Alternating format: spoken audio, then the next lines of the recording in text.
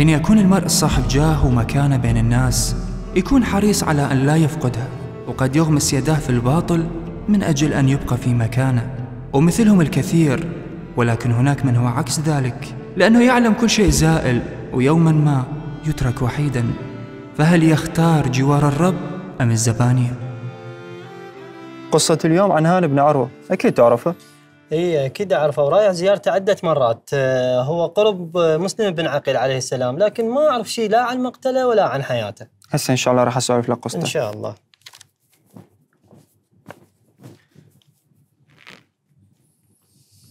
هاني بن عروة المرادي وجه من وجوه الشيعة ورمز من رموز الكوفة وبني مراد من قبائل مذحج اليمانية واللي سكنوا الكثير منهم بالكوفة وهو كان كبيرهم.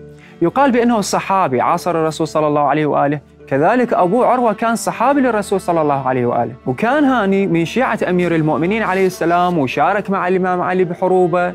ولما جاء مسلم بن عقيل إلى الكوفة نزل في بيت المختار الثقفي وبسبب جواسيس السلطة انتقل إلى بيت هاني وظلت إقامته ببيت هاني إلى وقت استشهاد هاني بن عروة. كان في بيت هاني أحد أصحابه واسمه شريك من البصرة.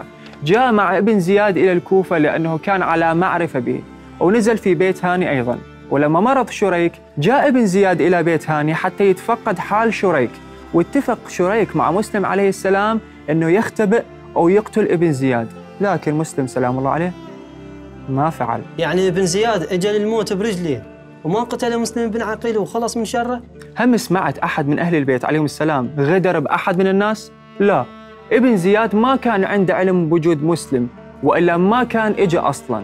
وهذه مو من طباع أهل البيت عليهم السلام. مو من طبعهم الغدر.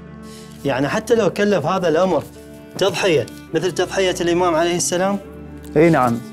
أهل البيت عليهم السلام ما يغدرون. لأن هاي من شيم الجبناء.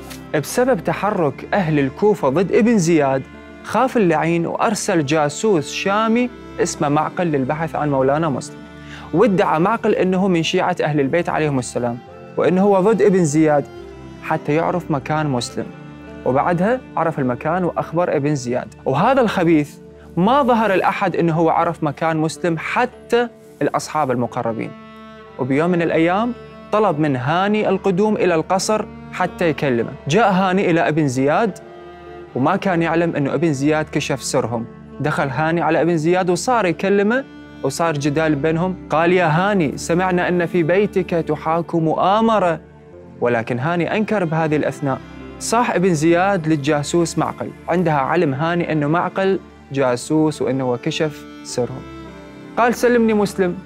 قال هاني لا أسلمك ضيفي. عندها غضب اللعين ابن زياد وأخذ صوت ويقال أخذ عصا هاني من يده وضرب بها أنفه حتى هشمه ثم ضرب بها وجهه.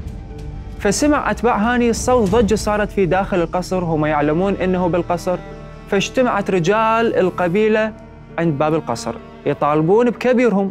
فخرج لهم شريح القاضي وقال إنه هاني فقط حبس الأمير وهو سالم وما بي شيء. عندها تفرق أفراد القبيلة. يعني انسجن ما قتله بسرعة. إي نعم انسجن هاني. ولما قتل مسلم سلام الله عليه قتل هاني مباشرة وقطع رأسيهما وكان بالتاسع من شهر ذي الحجة.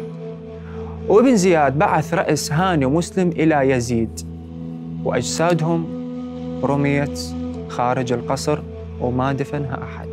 لما يصيب الأمة جبن يفعل هكذا بأولياء الله والكل متفرج. زين منو دفنهم بهذا المكان اللي دنزوره حاليا؟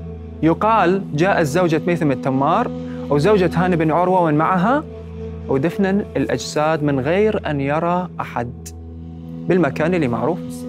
هاني ما عنده أولاد؟ يروى أنه كان عنده ولد اسمه يحيى هرب إلى قبيلته بعد مقتل أبيه وبعدها التحق بالإمام الحسين عليه السلام واستشهد معه. أستاذ علاء كلش حلوة المعلومات. نبلش تصوير؟ قبل ما نبلش تصوير أستاذ علي خل أقول لك نقطة مهمة.